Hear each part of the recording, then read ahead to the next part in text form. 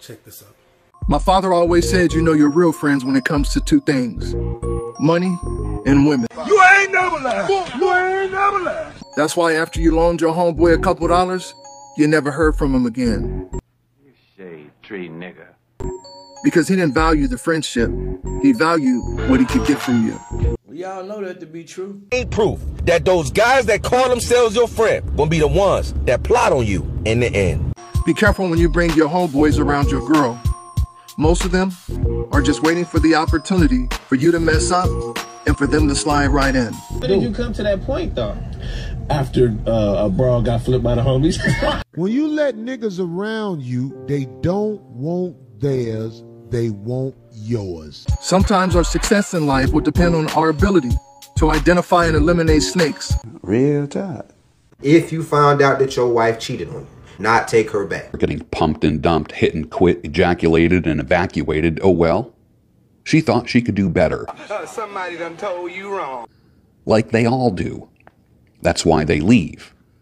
So I will tell you, gentlemen, live in the future, not the past. The reason why you don't want to take her back is because love that you feel for your wife, the time that you spent with your wife, the things that you've built with your wife does not compare the pain, anxiety, depression, the always questioning yourself, lingering thoughts, fear, and the worry of if she's going to do it again. You ain't got to explain nothing to me.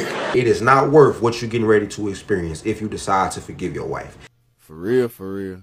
You put yourself in a lower position when you take back a woman who has stepped out on you in that nature. Say all women cheat, but it hurts worse when it's your wife. But if you take back this woman, it can be six months from now, it can be a year from now, it can be two years from now.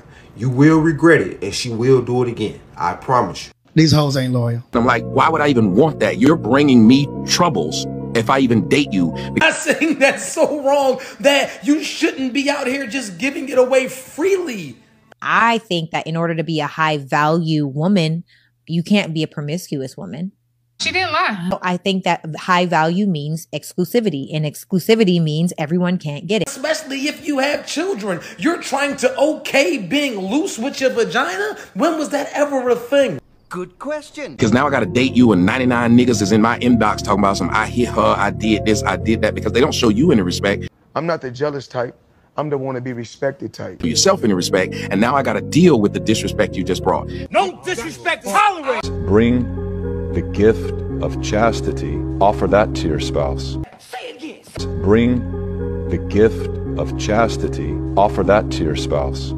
And you are bringing the best possibility of having a beautiful, fruitful marriage for many years. If you enjoyed the content, don't forget to hit the like and subscribe button or follow, and y'all be good.